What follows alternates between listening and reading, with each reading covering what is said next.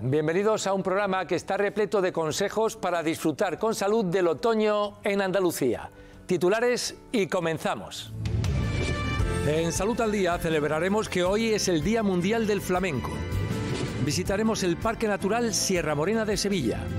Además, tomaremos el pulso a la salud mental de los más jóvenes. Analizaremos alimentos de temporada ahora en Andalucía que están llenos de sabor y de salud. Sabremos algo más sobre la gastronomía de la Iruela en la provincia de Jaén. Sin olvidarnos en Málaga de la saludable dieta mediterránea. Terminaremos en Jerez de la Frontera con el ritmo y el compás por bulerías.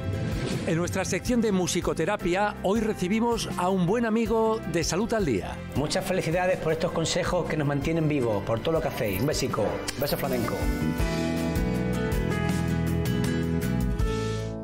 Los fines de semana de otoño son una buena oportunidad para disfrutar con salud de la montaña en Andalucía.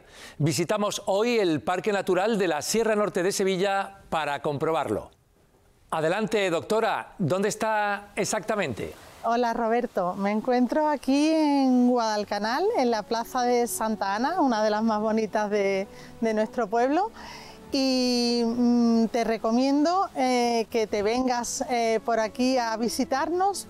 Mm, lo ideal sería vivir aquí como vivo yo, pero bueno, por lo menos visitarnos porque es un pueblo con mucho encanto, mucha naturaleza, tenemos una gastronomía que encanta a todo el mundo, tenemos ganado, tenemos olivos, encinas, alcornoques, o sea, unos paisajes espectaculares por los que pasear, andar, hacer deporte y luego la crianza de los niños aquí en el entorno natural y con la libertad para correr y jugar por el campo y en estas plazas que tenemos, pues la verdad que yo creo que es mejor que la ciudad. Te permite mucho más salir a pasear, no es lo mismo hacer deporte dentro de un gimnasio que poder permitirte el lujo de, andar. Yo a mis pacientes les digo, el que no mueve las piernas no mueve el corazón ni el intestino. Entonces, la gente le gusta pasear, no solo ya los senderistas, sino hay muchos mayores que se dan sus paseos y es muy agradable. Y luego el patrimonio histórico que tenemos en Guadalcanal, que es muy desconocido y que yo no soy la más adecuada para explicarlo, pero es precioso. Por todo ello, por su gastronomía, por su aceite, por sus parajes, por sus monumentos, es un sitio que merece la pena visitar, no una vez, sino mil. Ha llegado el momento de tomar nota de los consejos de esta sección de consultorio en Salud al Día, hoy con una magnífica profesional. Se trata de Pilar Ramos, doctora en psicología y profesora titular de la Universidad de Sevilla. Buenas tardes, doctora. Buenas tardes, Roberto. El 20 de noviembre es el Día Internacional de la Infancia. Y ustedes han elaborado en la Universidad de Sevilla, junto con UNICEF, un estudio muy interesante sobre la salud mental de los más jóvenes de la casa. Eh, me llama poderosamente la atención que en contra de lo que pensamos eh, los adultos, y hay muchos abuelos y padres viendo ahora este programa, las redes sociales no son tan perniciosas para los jóvenes, incluso les ayudan. ¿No será, doctora, que nosotros no sabemos tratar con adolescentes, gente joven, eh, y que no hablamos lo suficientemente con ellos? Tenemos una lectura positiva, ¿no? Y es que la gran mayoría no utilizan las redes de un modo que le pueda afectar a su salud mental. Eso es una realidad. Hay matices, ¿eh? por ejemplo, diferencia entre chicos y chicas con respecto, por ejemplo, a mostrar eh, solo la imagen perfecta ¿no? en redes sociales. Algunas cosas que matizar, pero en líneas generales nos encontramos que los jóvenes en contra del prejuicio de que solo usan las redes sociales para cuestionar unos más, pero sobre todo insisten en las relaciones, las relaciones eh, familiares, ¿no? tener una buena relación con sus padres, con sus madres, tener personas cercanas con las que poder contar, pedir ayuda y además también indican la importancia de hacer cosas que le gustan, que es una cosa que estamos olvidando en nuestra sociedad, el disfrute por el disfrute, el ocio, el hobby. Es, una generación cada vez más presionada a nivel académico. Quienes tienen más nivel socioeconómico pueden permitirse pagar unas actividades extraescolares donde el adolescente pueda disfrutar eh, de hacer eh, pues, cuestiones que le enriquezcan, ¿no? Mientras que no tiene este dinero, pues mm, no tiene esas posibilidades. Y además, ¿qué dice la evidencia científica respecto a la felicidad?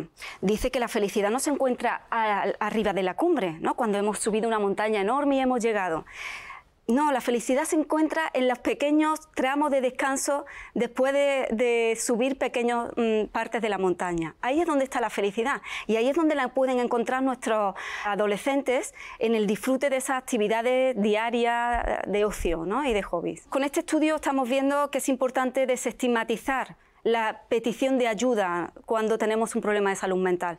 Pero esto tiene que ir acompañado de un aumento de los recursos públicos, porque claro, si el adolescente decide voy a pedir ayuda, ¿Qué ayuda hay? ¿Cuántos meses de espera estamos teniendo en servicio de salud mental? Fíjate, Roberto, hay estudios que marcan que de cada 100.000 eh, habitantes hay 18 profesionales de psicología en Europa, para cada 100.000 habitantes. Esa es la media en Europa, la media en España está en 6. ¿Cuál es la media en Andalucía? 3,5. No puede ser que para un único psicólogo o psicóloga tenga que atender o tenga que asumir.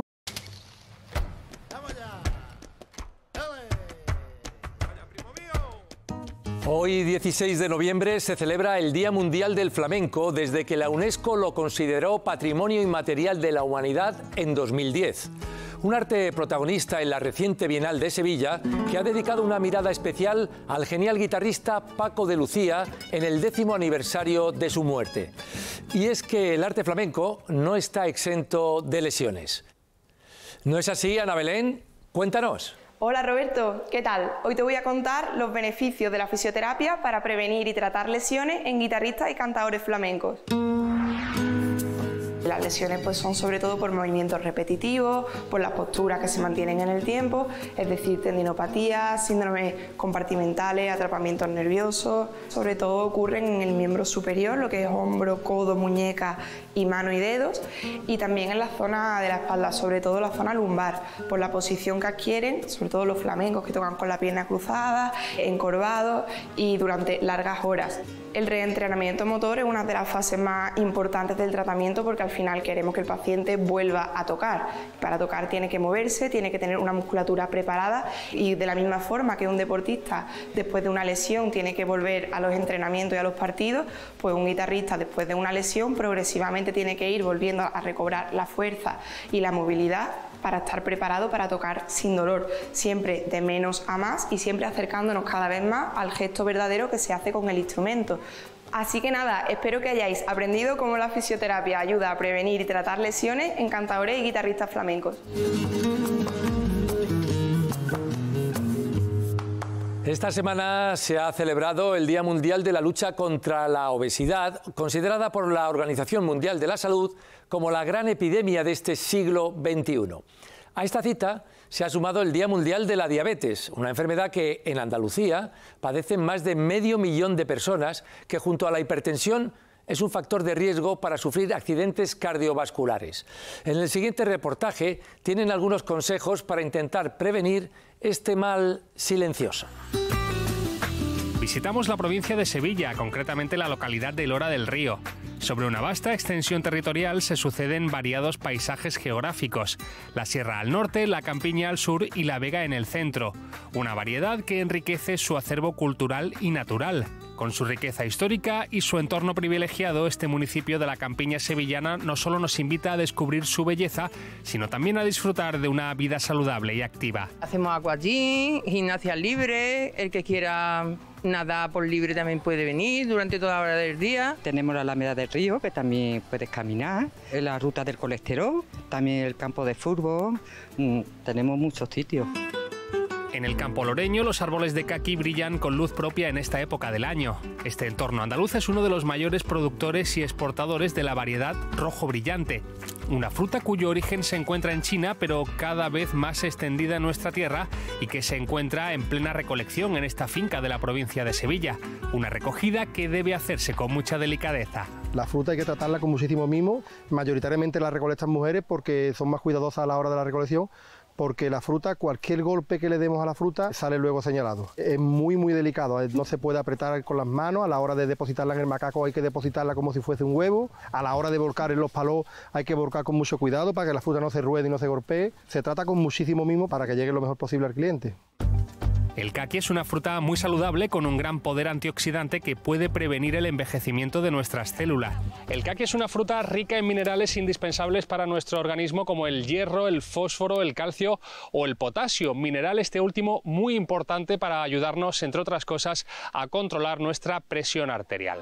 La hipertensión es una enfermedad silenciosa que afecta a casi el 35% de la población adulta en Andalucía y que debemos controlar, puesto que aparentemente no ofrece síntomas incluso cuando los niveles de presión arterial son altos. La enfermedad de la hipertensión se le llama también silenciosa porque no da síntomas. Muchas veces nos creemos que la tensión va a aparecer con síntomas como dolor de cabeza, mareos, no. Al principio empieza sin síntoma alguno, pero se van deteriorando los vasos sanguíneos.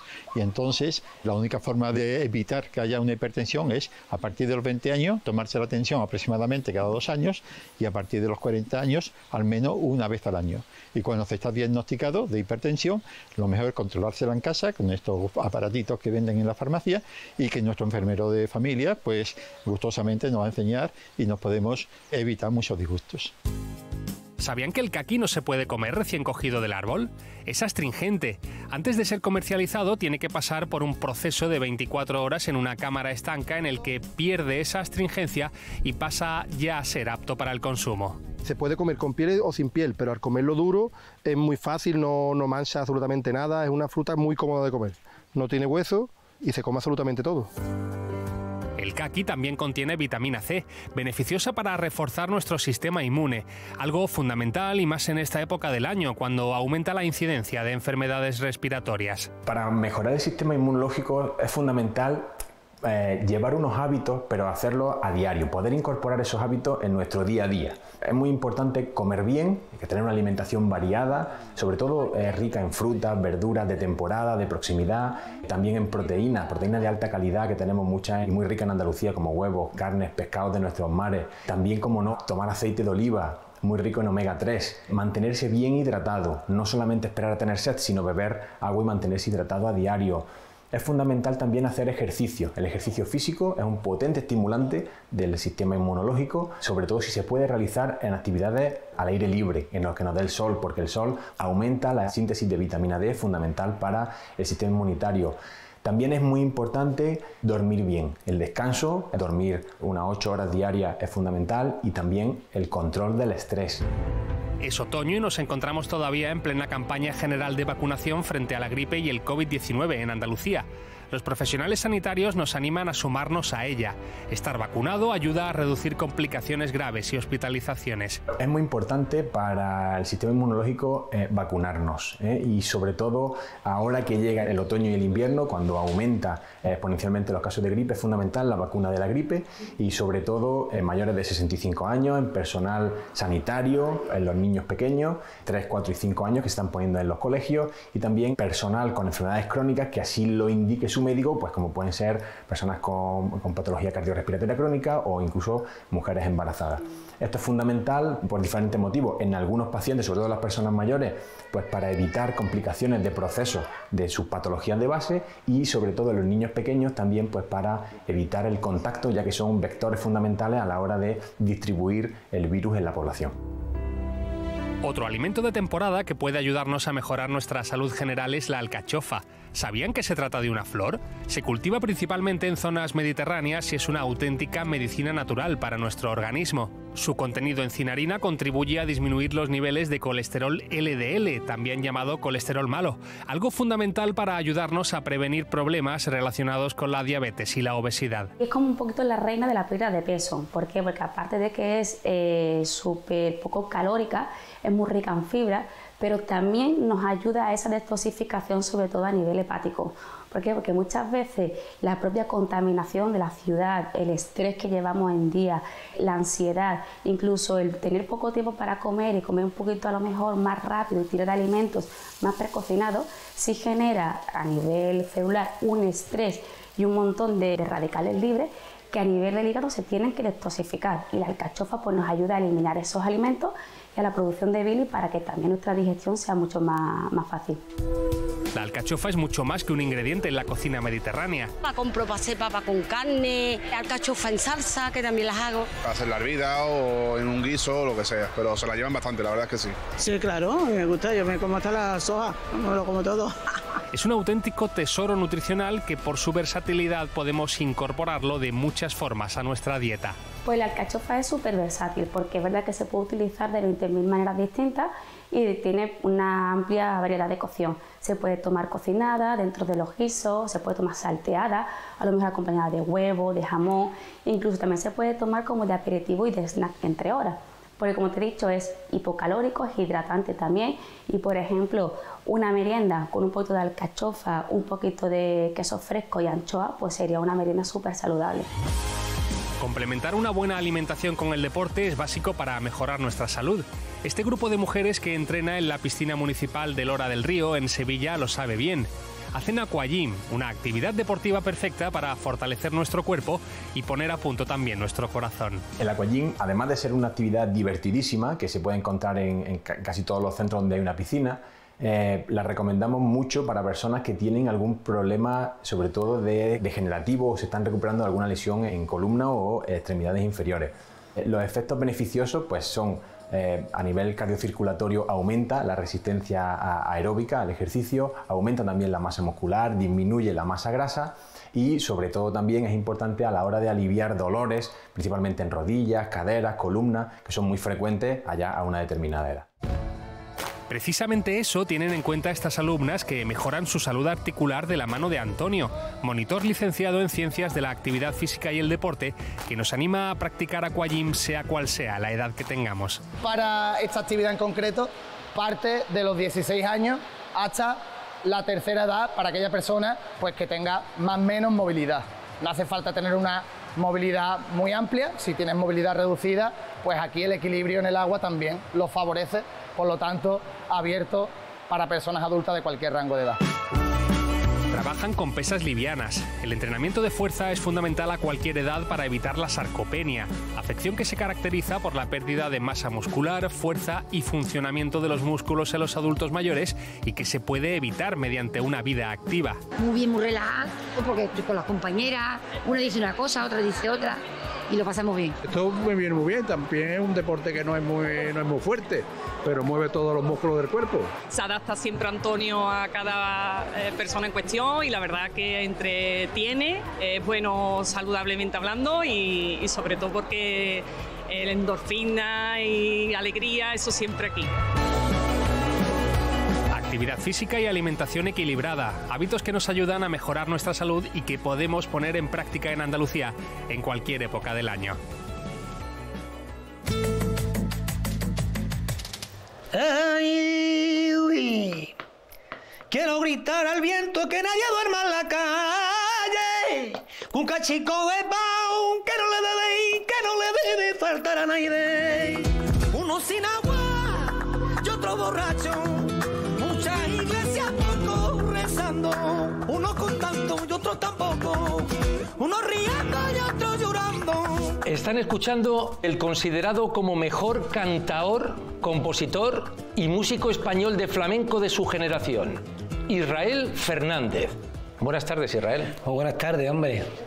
Bueno, estamos todos en el mismo carro y la fuerza, la unión hace la fuerza y vamos todos para adelante. Voy a contar a los telespectadores, Israel, una curiosidad que es posible que no sepa la mayoría.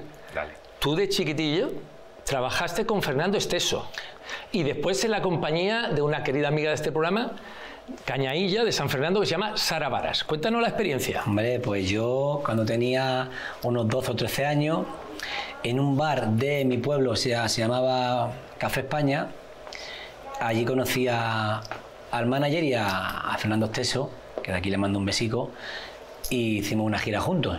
Hicimos como 40 galas por ahí, por los pueblecitos de la, de la Mancha y por ahí. Qué bueno. Y después ya más para adelante, pues entré con mi querida y admirada Sara Vara y estuvimos como 5 o 6 años juntos compartiendo pues, cosas muy bonitas. ¿Se te da bien bailar? Porque tienes pinta de, de bailado, ¿eh? Bueno, me gusta el baile y porque me, me gusta mucho lo que tenga ritmo, todo lo que tenga ritmo me, me llama mucho la atención. Pero bueno, bailo regular. Después cuando estoy de fiesta, pues si me apetece, me gusta bailar y claro, porque la alegría todo el mundo la quiere. Claro. ¿Tu palo del flamenco preferido, Israel? Bueno, mi palo preferido, el que más estamos interiorizados es la bolería, ¿no? Por decirlo, por, por decir alguno. Pero realmente no tengo palo preferido, porque si me pilla bien, por ejemplo, por soleá me encanta. Cante por soleá bien paradito, explicándolo bien, pues una maravilla. Mi mamá, una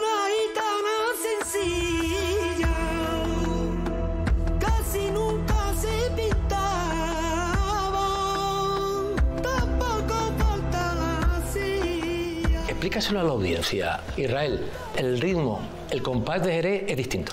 El compás de Jerez es distinto porque cada, cada ciudad pues, tiene una forma de sentir y, un- y una rítmica más de, de familia, de, de infancia. Y en Jerez pues, lo tienen desde chiquititos, ¿no? esa forma, ese sentido que yo creo que a todos los flamencos pues, no- no- nos cautiva. Sabes que esto es Salud al Día. Llevamos 24 años en antena. Y quiero que tú, precisamente hoy, un día tan destacado como hoy, con 35 años, desmitifiques esa mala imagen del flamenco como mala vida, insana. Cuéntaselo a los jóvenes que te están viendo. a, que, a que tú te. Hombre, ¿Tú eres un yo- junco? Yo intento, yo intento cuidarme lo mejor posible y, y porque para, esta, para este trabajo tienes que estar muy bien sentimentalmente, eh, físicamente, por supuesto, y psicológicamente. Y eso viene estando bien de salud, por supuesto. Y bueno, eso eh, son cosas que dicen que no, lo saben y lo entienden y siempre pues, de un grano de arena hacen una montaña. Entonces yo creo que, que todo el mundo tendríamos que cuidarnos por la salud, por nuestra familia, por nosotros mismos y por nuestra música, que yo creo que se escucha mejor la música sano y hacer bien a los que están malitos cantándoles, ¿no? Eso es, porque la música es salud y el flamenco es salud. Es grande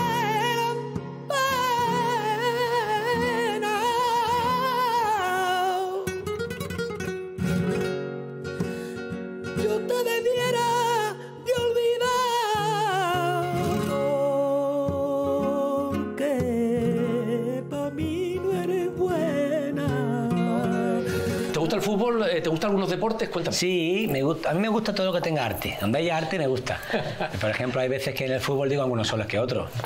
Hay futbolistas que les tienes que decir ole. Sí, sin duda. ¿Tú has hecho algún deporte? Bueno, de más jovencito he jugado fútbol sala en mi pueblo con mis primos, pero luego ya pues no tengo mucho tiempo, pero a vez en cuando me gusta jugar un poquillo a fútbol y eso. Y ahora estoy, me gusta ir un poquillo a lo mejor a salir a correr, aunque no voy mucho, la verdad, pero como me estoy como un palillo, pues... No, estás delgado. Cantado, Guillo. Igualmente. Vamos a continuar con otros contenidos. Hola, buenas tardes. Buenas tardes, Roberto. Un placer estar aquí con vosotros. Nos encontramos en Isla Cristina, en este entorno maravilloso, en nuestra playa, y estamos aquí para invitaros a que disfrutéis de los entornos naturales, no solamente en- verano, sino también fuera de temporada.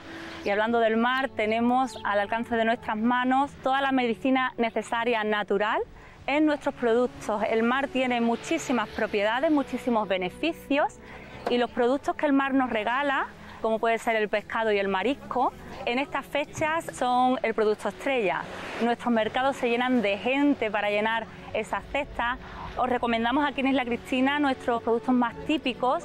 Son la gamba blanca de Huelva, el choco es un producto muy típico de aquí, el atún, un producto ejemplar y maravilloso que se puede cocinar de muchas maneras y todas de ellas muy sencillas.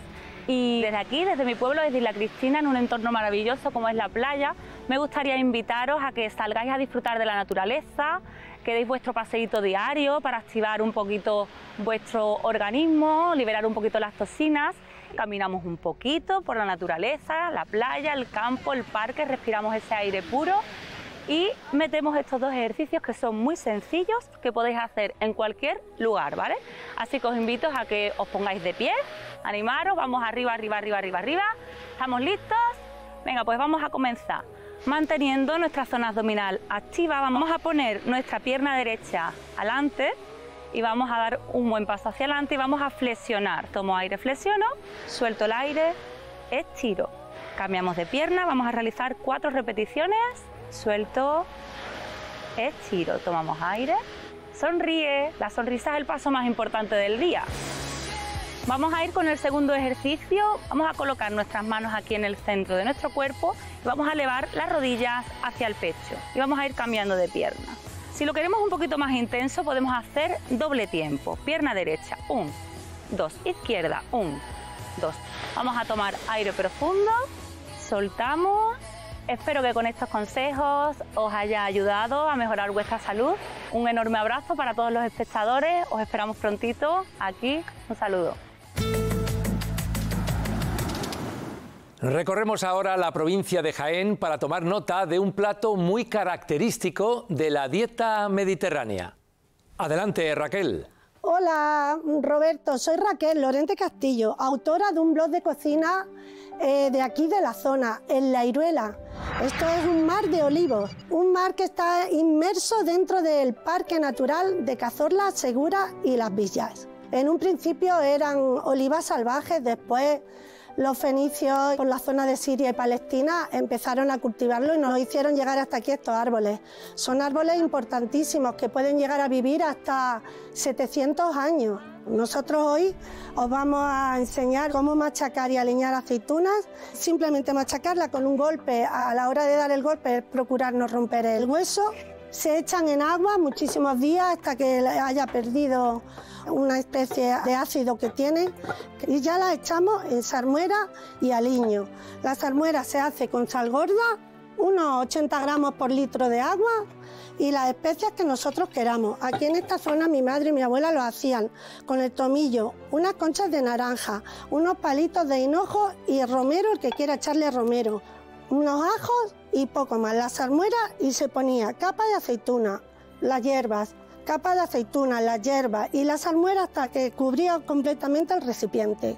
También os he hecho algo dulce y es que ahora estamos en temporada de membrillo, temporada de otoño y hemos hecho un bizcocho de membrillo con un buen vaso de aceite de oliva virgen extra. Todo este tipo de gastronomía han quitado mucha hambre.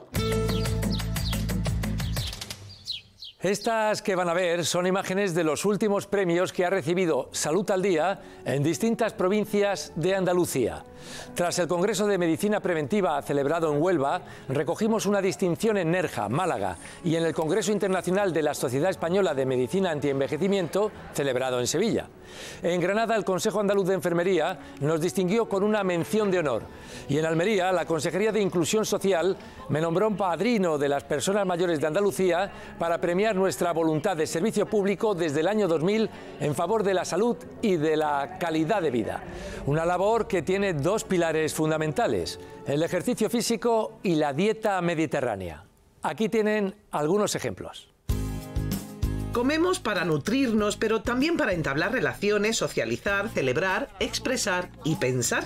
El acto de comer es mucho más que el simple hecho de ingerir alimentos. Significa compartir tiempo y experiencias, saborear sin prisas.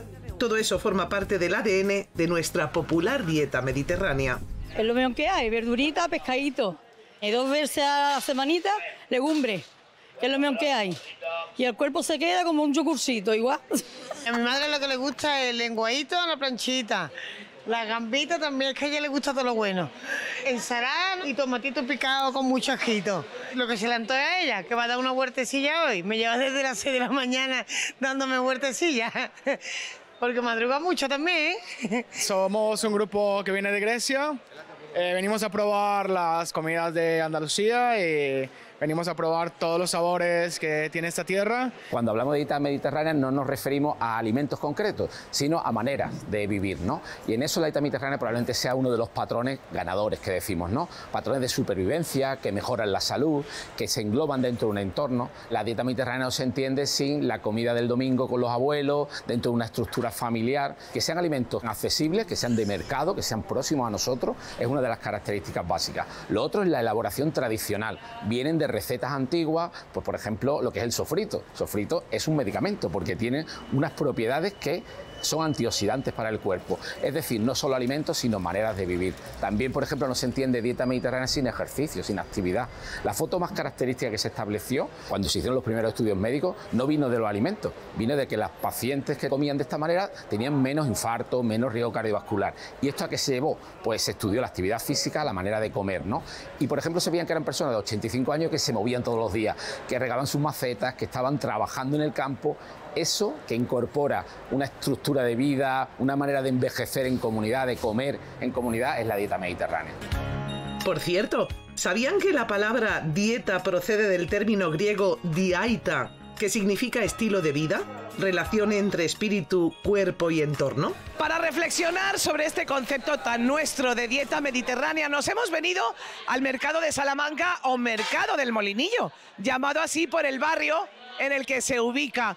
Se trata del segundo mercado con mayor afluencia turística de Málaga, construido entre 1922 y 1925. Estamos, por cierto, en uno de los pocos inmuebles de estilo neomudéjar en la capital malagueña. Tenemos gran variedad de pescaditos de aquí, de Málaga, de Huerva, de nuestras costas malagueñas, andaluzas. Todo, hay salmón muy bueno, hay lenguadito, merluza, unas lubinitas, gamba de aquí de Huerva, aquí tenemos unas coquinillas, una armeilla de Huerva, coquina de aquí de la caleta. ¿Comer bien cuesta caro? ¿Realmente elegir los mejores ingredientes para cuidar nuestra dieta incrementa nuestro presupuesto en la cesta de la compra? No olvidemos lo que ya recomendaba Hipócrates, padre de la medicina moderna, hace más de 2500 años, que tu medicina sea tu alimento y el alimento tu medicina. La cesta mediterránea tiene que tener fruta, verdura, una proteína de mucho valor biológico como el pescado, aceite de oliva, sea el mercado. Alimentos de proximidad son la oportunidad que tenemos más directa por poder generar esa cesta mediterránea. Lo que sí tenemos claro es que lo que se compra es lo que se consume. Por eso el patrón de la cesta de alimentación es tan fundamental. Esto no se trata de un listado de alimentos, se trata de incorporarnos donde están los alimentos y rellenar nuestra cesta que va a ir luego al frigorífico a la hora de consumir verdura, fruta, aceite de oliva, pescado, legumbres, son la cesta mediterránea. ¿Cuál es la clave o el secreto del éxito de la dieta mediterránea? ¿Por qué triunfa en el mundo entero y atrae cada vez más a millones de personas, de turistas, de visitantes y exigentes paladares? Tenemos muchos secretos y muchos alimentos importantes dentro de la dieta mediterránea, pero yo me voy a centrar en uno que para nosotros es muy importante, eh, que es el aceite de oliva eh, virgen extra, ¿no? que aunque es una grasa y la gente evita un poco la grasa, es muy importante tomar un 35% de grasa y en este caso hablamos del aceite de oliva virgen extra ya que es una grasa monoinsaturada y nos aporta muchísimos beneficios como es, hace un efecto antioxidante, tiene vitamina E, reduce el infarto, esto es oro líquido, ¿no? De hecho, lo tenemos que tener en nuestra mesa todos los días, evitando el otro tipo de grasas saturadas, ¿no? Pues a lo mejor las mantequillas, las natas y abogar siempre por aceite de oliva virgen extra. Diferentes estudios recientes de ámbito internacional asocian la dieta mediterránea con varios beneficios no solo para la salud física, sino también para la salud mental. Se ha demostrado su influencia positiva sobre el bienestar psicológico, con tasas más bajas de ansiedad y depresión y mejor estado de ánimo general. Intentemos llevar a la mesa dieta mediterránea evitando los precocinados, ya que la dieta mediterránea nos va a aportar mucha salud, nos va a reducir la obesidad, nos va a reducir la diabetes, el estado de ánimo nos lo va a mejorar. Estamos en un mercado donde evidentemente podemos encontrar todos los productos de temporada y además son fáciles de conseguir y mucho más económicos. Como todos los barrios y mercados andaluces que suelen ser punto de encuentro y de convivencia, en el del Molinillo, catalogado como bien de interés cultural, las historias se entrelazan en cada esquina, las culturas se entremezclan en cada conversación y la vida late con fuerza. Llevo aquí en el mercado más de 40 años, sobre 41. Y empecé con mi padre, empecé con 18 años aquí en el mercado. Conozco varias generaciones de habitantes de este barrio, repartiendo salud y repartiendo frutas. He ayudado a criar a muchas familias, desde que niños que venían chicos y ya vienen con su hijo a comprarme. Cambiamos de escenario y nos trasladamos a este bello entorno en Churriana, sin salir de Málaga capital. Por estos maravillosos jardines anduvo el Premio Nobel de Literatura Ernest Hemingway en 1959 Aquí en la finca La Cónsula, propiedad por aquel entonces de la familia Davis, escribió una serie de reportajes titulados El verano peligroso, que narran el duelo taurino entre Ordóñez y Dominguín. Y aquí celebró con una fastuosa fiesta sus 60 cumpleaños. Desde hace tres décadas esta es la sede de la Escuela de Hostelería de Málaga, todo un referente a nivel andaluz y nacional que cada curso acoge a unos 100 alumnos. En sus 30 años de andadura, la cónsula integrada en la red de escuelas de formación del Servicio Andaluz de Empleo ha sido la cuna de destacados chefs con estrella Michelin como Dani García, José Carlos García, Diego Gallegos, Celia Jiménez y Paco García. No se pierdan el saludable cóctel de bienvenida que hoy nos tienen preparado, un aperitivo rico en vitamina C. El cóctel no tiene nada de alcohol completamente, hay una tendencia en cada vez beber menos alcohol, incluso hay una gama de vinos 0% alcohol. Este es un cóctel de aperitivo, por supuesto con productos andaluces y saludable. Los ingredientes son kombucha de jengibre y limón, nuestra naranja del Valle de Guadalhorce, limón del Valle de Guadalhorce y al final va aromatizado con un bitter de naranja para potenciar todavía más esos aromas a cítricos. Y es un cóctel que va a estimular el apetito antes de empezar con el menú. Aprovechando que está aquí, salud al día, vamos a hacer un riquísimo de menú de dieta mediterránea. Vamos a empezar haciendo una magnífica porra malagueña con remolacha, acompañado de gambas y una gelé de albahaca. De segundo plato vamos a realizar una corvina con caldillo de pinta roja de Málaga. Y para terminar con el menú vamos a hacer un solomillo de cerdo al vino de Málaga también. Y ultimar el menú lo vamos a hacer con un helado de limón. Daros la bienvenida al programa Salud al Día de, de Canal Sur. Es para nosotros de verdad un honor y un orgullo teneros aquí. Bueno, pues esta escuela mm, de hostelería de Málaga, la cónsula, eh, eh, en diciembre pasado cumplió sus 30 años de funcionamiento. Es una escuela que forma con un restaurante abierto al público, por lo cual los alumnos desde el principio tienen una cantidad de práctica, están en situaciones reales de trabajo. Nosotros tenemos una política de compra de kilómetro cero, o sea, de productos de cercanía, y luego en la formación de los alumnos hay una formación muy específica. Ellos tienen un seminario de dietética y nutrición, tienen además un módulo que forma parte de un certificado sobre atención a personas con celiaquía. Con cuatro profesores al frente, asistimos a la elaboración de este menú saludable que aúna tierra y mar, elaboraciones tradicionales y otras mucho más vanguardistas. Hoy hemos hecho un menú adaptado precisamente a vosotros. Se compone una porra antequerana, la cual hemos hecho un poquito más mediterránea haciéndola de remolacha. Me habéis pillado emplatando, así que os voy a mostrar cómo se hace. Como guarnición lleva un huevecito de codorniz, un poquito de pistacho picado, un polvo de jamón serrano, unas gambitas y para finalizar coronamos con unas perlitas de aceite de albahaca y un trocito de albahaca crujiente. Y este sería nuestro plato en honor a Salud al Día. Primero tenemos unas horas de teoría todos los días, dependiendo del día. A lo mejor tenemos una clase de inglés, informática, todo relacionado con la hostelería. Y después una clase de teoría de cocina. Cada uno estamos separados en distintos grupos. Por ejemplo, yo ahora mismo estoy con el tema de los pescados y la semana que viene a lo mejor puedo estar en el buffetier. Tocamos muchos temas de géneros distintos y tal. Y los profesores son todos, la verdad, muy profesionales y todo. Y encantados, no, no puedo pedir más. De estas cocinas nacen platos repletos de salud. El concepto de dieta equilibrada y variada, sin duda, se cumple en cada menú. ¿En qué consiste el plato equilibrado? Tiene que tener un 50%, la mitad, de verduras. Y aquí podéis ver, pues bueno, algunos alimentos que son prácticamente vitaminas, minerales, fibra. Esa de la parte de la verdura es como fundamental el 25% tienen que ser los carbohidratos, la energía. Y en ese sentido, por ejemplo, hemos puesto la patata, como podía ser el arroz o cualquier otro alimento que sea hidrato de carbono, si se puede, de una manera integral. Y la cuarta parte quedarían para los alimentos que son proteínas. Y en los alimentos proteicos, pues aquí hemos puesto el boquerón, el pescado. ¿Por qué? Porque hemos dicho una fuente de proteína con omega 3. Uno de los principales objetivos y pilares de los programas de formación de las escuelas de hostelería es capacitar a los futuros profesionales de la restauración y la gastronomía para que se conviertan en embajadores de la dieta mediterránea, lo que contribuye a su preservación y promoción a nivel nacional e internacional. El Instituto Europeo de la Alimentación Mediterránea es una iniciativa de la Consejería de Agricultura, eh, Pesca, Agua y Desarrollo Rural que tiene por objetivo salvaguardar la dieta mediterránea, en particular andaluza, porque como bien sabéis, no hay solo una dieta mediterránea, la dieta mediterránea es un concepto que engloba muchas dietas. ¿Eh? la de los diferentes países, no solo que en el Mediterráneo, sino todos aquellos que tienen ese estilo de vida, ese modelo alimentario. Las escuelas de hostelería y la gastronomía en general son de las principales columnas que soporta la dieta mediterránea y es fundamental ser didácticos también, y creo que las escuelas están haciendo cada vez una labor mejor en lo que es explicarle a sus alumnos la importancia del producto local, de poner en valor la gastronomía tradicional y no solo la gastronomía que viene de fuera.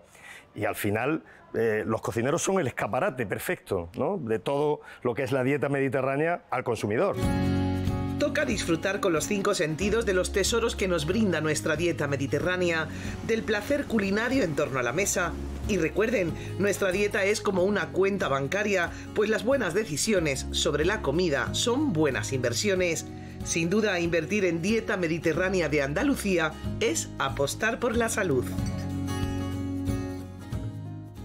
Continuamos con este programa especial con motivo del Día Mundial del Flamenco, un arte que puede ser practicado desde la infancia y que puede tener efectos beneficiosos para personas de todas las edades.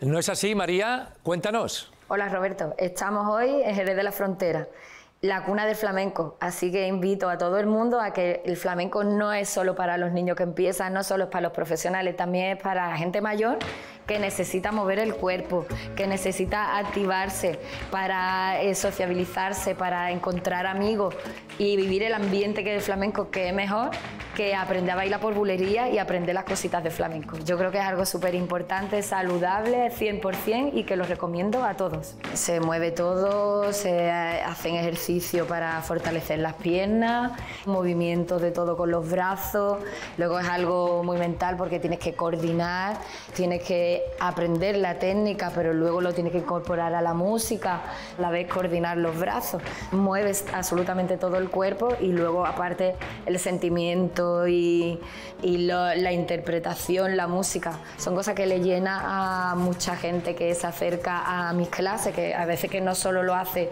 porque le gusta el flamenco, también porque le dicen que tienen que hacer ejercicio. Viene mucha gente que le piden a su médico que hagan ejercicio, pero no encuentran en el gimnasio esa sensibilidad y algo que les llene de verdad el, estar una hora haciendo ejercicio. Y viene y la gente la verdad que, que reacciona y yo creo que casi nadie que viene y lo prueba luego decide que no quiere hacer flamenco. El flamenco es una cosa que engancha a alguien que siempre viene lo engancha. Bueno, y os animo a todos a bailar un poquito por bulería. ¡Ahora!